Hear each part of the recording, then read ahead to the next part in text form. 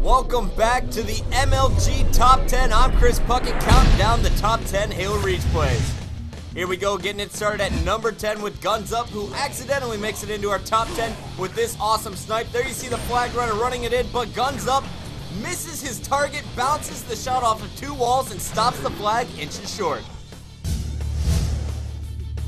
At number 9, we got Expert X making his way to top health pack, takes down the sniper, and immediately puts the rifle to use three perfect shots, gives him the overkill. That's Expert at number 9.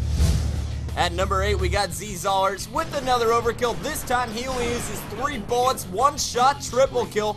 Z Zollers with the overkill extermination. But at number 7, we got Eruption with the worst no scopes I've ever seen, taking down the guest making his way up to the second level, picks up two straight assassinations, and here it gets interesting. Check out the interception for the overkill and the kill-tacular.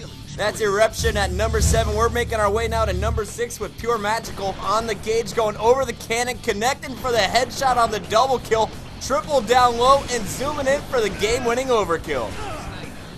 At number five, we got Piney playing a bit of free-for-all. He's got the sniper, getting charged by the guy in the jetpack. Not a problem. Two nice no-scopes. Looking down low, he's got some free kills. Connects for the triple. The reload as the guy comes out of armor lock. Connects for the overkill headshot. And now it gets impressive. Nice no-scope for the kill tack and finishing strong. There's the kill Killtrocity. At number four, we got B. McGann, and he's going to work on the cage. Pulls out the pistol, just to fake out Camilla, comes right into the beatdown, and out comes the sniper rifle. Connects for the no-scope double kill up top. Looking over the man cannon, there's the triple kill, and check out this shot. Sees a player in the hut to the right, no-scope revenge overkill. At number three, we got my favorite play in this top 10. It's coming from B Rockin' It, LBK. Going to work with the flag, beating down the sword guy. There's the triple and the overkill as he walks it in. Overkill extermination, game-winning flag cap. At number two, we got your mama sitting in the passenger seat and going to work with the sniper rifle. Check him out, picking up four straight kills on the right side of the map. Buzzes right over to the other side and continues the slaughter. There's the Kill-tacular, the Killtrocity, Killimanjaro, and Killtastrophe. What an awesome rampage out of your mama.